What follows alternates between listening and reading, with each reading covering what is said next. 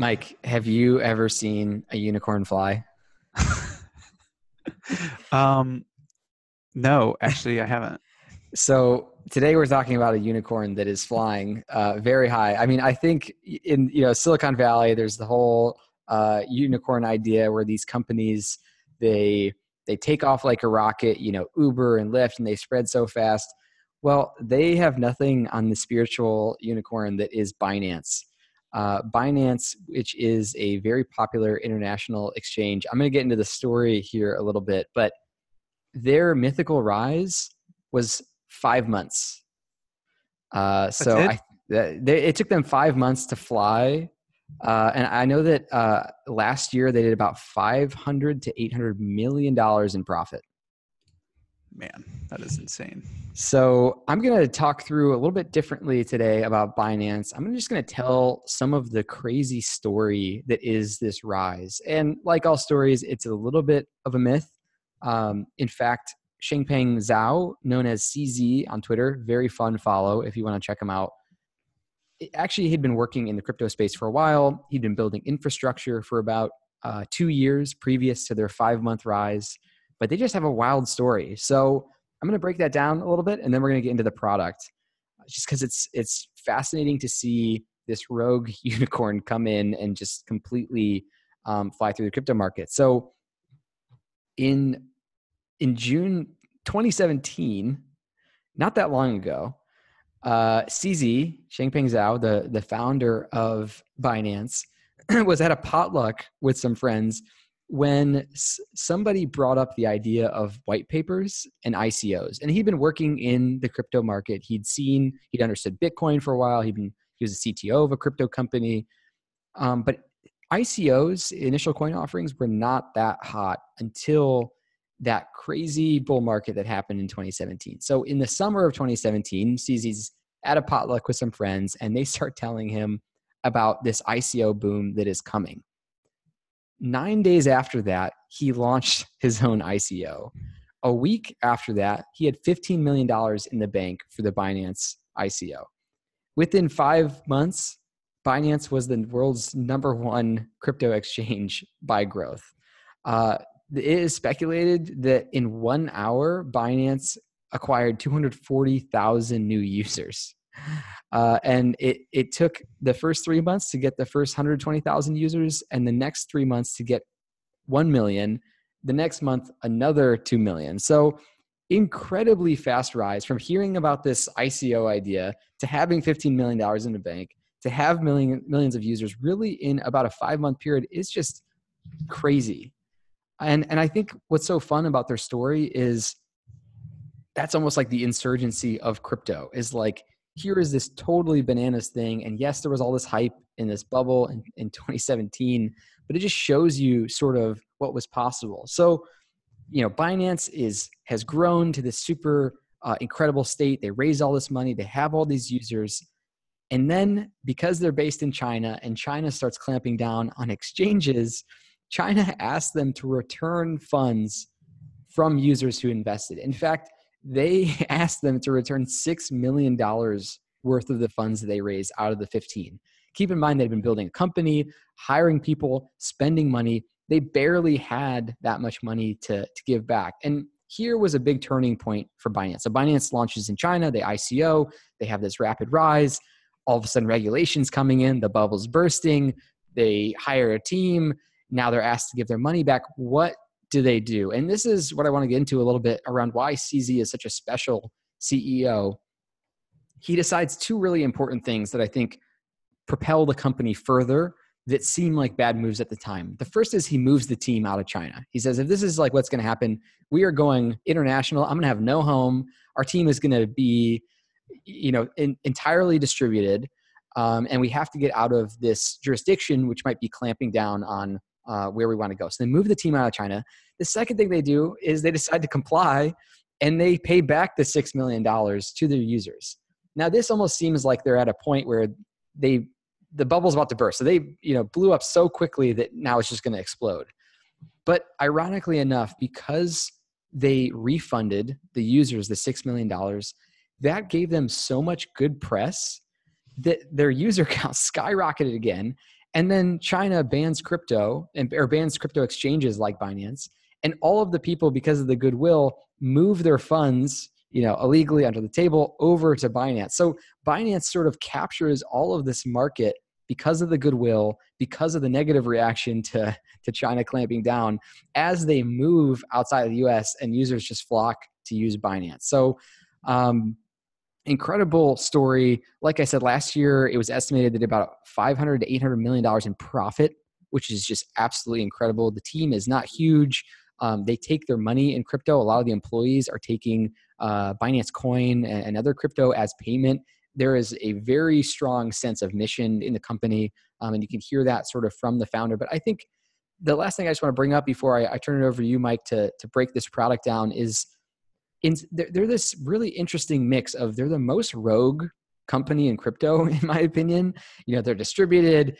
CZ doesn't really live anywhere. They're kind of traveling around. Um, they're growing so quickly, but also they're like they're very interested in following the rules.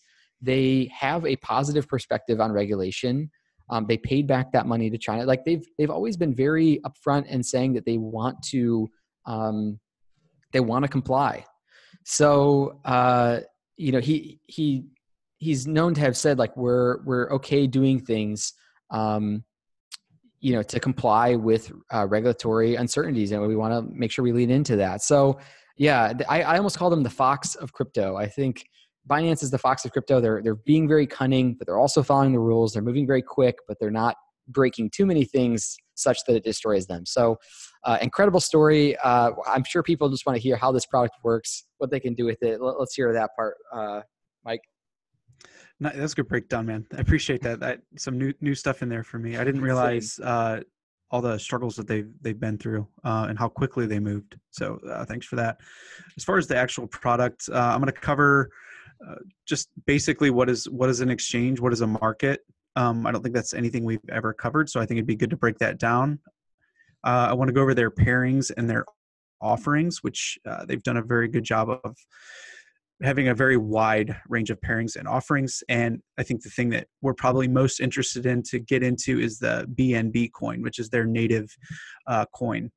So, as far as breaking down what is a market, um, I think it's good to cover this because you know essentially when you're using a, a product like Binance or any other exchange, whether it be stocks or crypto, you're basically participating in a market and uh, the market has two sides obviously people that want to buy and people that want to sell.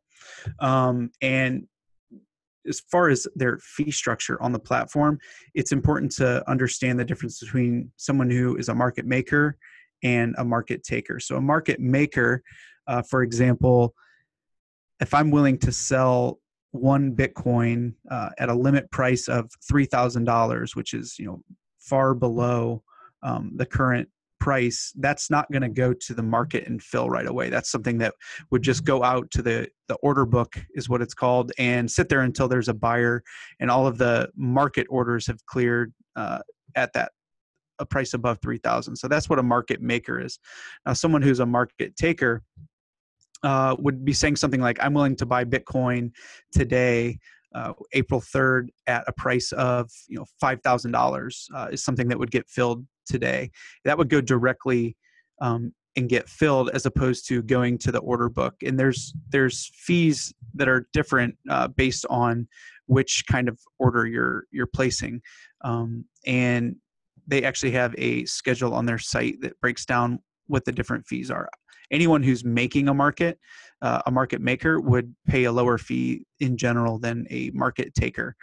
Um, so that is kind of the basics of the the crypto market that they offer. Um, one of the reasons why they're such a popular market is that they have very very high liquidity which means there are a lot of people using the platform people are buying and selling uh, these different pairings uh, at a very high rate so you can always theoretically always sell the thing that you're trying to sell on their site. Um, now, getting into pairings, uh, they have a few major buckets for these. So they have Bitcoin pairings, uh, Bitcoin markets. They have alt markets, uh, which really are just about any of your um, altcoins, your major altcoins you can trade in. You can trade uh, with Litecoin as a as a base currency. Ether, you know, the majors there. Uh, they have a USD coin, which is a coin that is pegged to the value of the US dollar. So if you're new to crypto, you're probably using something like that. And they also have markets based on their own internal BNB coin, which I think is really smart and, and a good use of their coin as well. Um, so let's go through then the use case for BNB. Um, users are incentivized to use their coin uh, to pay trading fees on the platform. They get an you actually get a discount, 25% discount if you store BNB on your account. Um, those are the the first by default where they're going to try to settle your fees. Um, if not, I think they would go against. Uh, they would just mark up your your order to account for fees, but you get a 25% discount for those. Um, they do have tiered pricing uh, when it comes to fees for that, but it really only kicks in at like 100 Bitcoin trading volume per month. So most of us aren't trading at that at that uh, level. Um, so as far as kind of how that coin has performed, it's actually one of the better performing coins uh, as I dug into it, and it's it's something that I like you said I've reminded myself at, at how well it's performed, but I, I am probably underexposed to this. I'd like to to get my hands on some of these. Um, it's right now it's the number seven coin ranked on Coin Market Cap, uh, 2.4 billion market cap. Um, and over the last 24 hours, 226 million dollars has been uh, exchanged. So it's got a ton of use um, as far as uh, being used as a trading trading pair and also to exchange or settle settle fees. Um, but there are also some other use cases to this, and and I think this is a good spot for you to kind of get into some of these more uh, more advanced use cases for the coin. Yeah. So just to reiterate, and thanks for that breakdown. The the idea is that as uh, Binance moves to being also a decentralized exchange, meaning uh, that they're sort of separating themselves out a little bit um, from their product, they they launch their own token. But I think the thing that's sort of fuzzy for people is this token is not a security, so it's not a stock in Binance, the company. It's also you know not so that means it's not shares of Binance, the company. What it is, is it's sort of like this, I don't want to say utility token because I think that has its other connotations, but it's really this, uh, this token that you can acquire that lets you do trades on the network with some perks. So you could almost think about it uh, like a discount card mechanism where if you use their token, if you use the Chuck E. Cheese tokens at uh, Chuck E. Cheese, maybe you get a discount on the games. It's like by using BNB, when you use their product, suddenly you get some extra benefits. You don't have to pay for fees. You get a discount. Um, and but also the thing that they're doing that's very interesting from sort of an incentive perspective is they they sort of minted a, a specific number of BNB tokens total, but they're on a recurring basis every quarter destroying, aka buying back some of their BNB tokens. So uh, they're taking coins out of circulation, which effectively raises the value of the BNB coin that you own. And I think part of the reason we're seeing uh, this this really fast rise in the, um, the the dollar amount per token is because people see this as a long term holding opportunity. Not only do they want to trade in the exchange, but they sort of similar to Bitcoin as supply in circulation reduces. Um, and as more people find the, the platform more popular, uh, that that price goes up. And what's really interesting about that is this is, and I want to draw an analog here because we we brought up uh, in a previous episode the Apple Card. Uh, we've mentioned a little bit about Facebook. The goal of these companies is for people to hold as much money as possible on their platform. Like one of the big races in financial technology is can we own the wallet where people leave funds or accumulate funds that they then go use to buy other things with. And CZ has been known to say that they hope that you can even eventually buy coffee with BNB. So I think the big play that they're trying to make, and the reason they're they're attempting to make less money on fees and, and more um, in a more decentralized way, is the longer term play. Is if BNB coin becomes held by more and more people, um, they get more and more perks. The value goes up for everybody. Obviously, they own BNB, so it's yeah, it's a really interesting I mean, a lot of these products we're covering, I think, are really breaking the standard conventions of finance. I mean, this is so far outside I think what people have ever done. I'm fascinated by the BNB just governance model generally.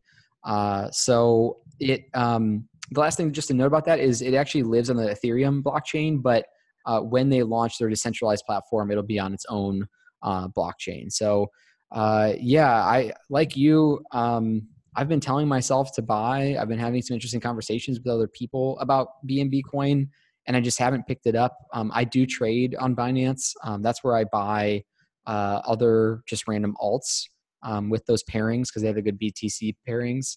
Um, but yeah, are, are you? yeah, what's your next step? I guess knowing uh, knowing more about Binance at this point. Yeah, so I've used like you, I've used Binance. That's been the only place really where I've bought uh, outside of the major, I guess three or four cryptocurrencies, which I have typically bought on a Coinbase. Binance is where I'll send a little bit of money. I've done it like maybe once or twice where I'll just go out and buy, you know, two hundred dollars worth of uh, altcoins, um, just from a pure speculative, uh, no real trust behind any of the projects or anything like that, but just as a tiny bet that I'm willing to lose all of it um, to see potentially a you know, 100x return over the course of two or three years.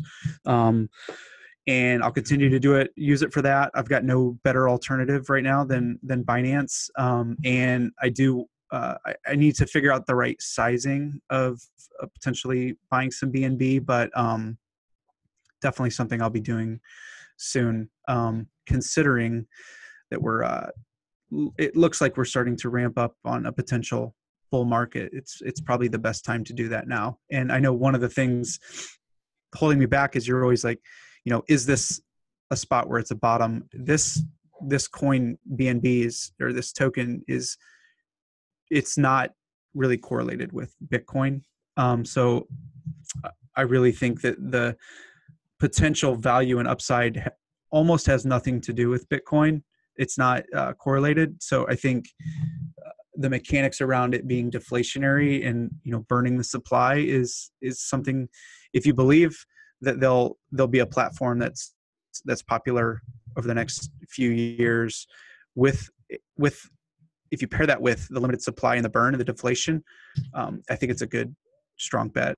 Um, but again, anything, any kind of money you put into something like this, be willing to lose all of it because this is crypto. Yeah, yeah, totally. And uh, you know, I think they they very much tried to say this isn't a security.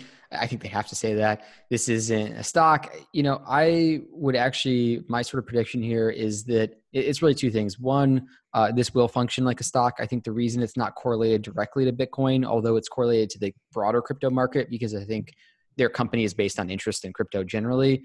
Um, I think this is probably the closest thing you can do to buying a centralized, quote unquote, even though it's centralized um, stock related to a specific company. So I personally will will likely pick up in, in some capacity some BNB at some point uh, because I think it's the first clear version of buying into a crypto company and not buying um, into a uh, like I guess a security model or like gold. You know, it's a little bit different. And I just was listening to another podcast about uh, Andreessen Horowitz actually, and I remember uh, hearing about how they made sort of an outrageous bet in Uber, like later stage, and they got a lot of flack for that because it was already such a high evaluation. You know, why would you put that much money that late stage uh, in a company? And it ended up obviously being a great bet for them. And I think the lesson a little bit in that was sort of we forget that when something really becomes a unicorn, to bring it back uh, to the beginning, even after a tear that it goes on, there's still a huge amount of room left for it to run. And uh, I guess my prediction is that I think Binance is only sort of getting started here. I think the vision is pretty rare. Uh, the structure of the company is pretty rare, barring any crazy regulation and uh, and crypto collapsing generally. I wouldn't be surprised if this was a minor start to an Amazon like company um, sort of in the in the future of crypto. So I guess that's a bold bold prediction there, but um, I think this is like a reward the winner scenario because the winner has a huge amount more upside.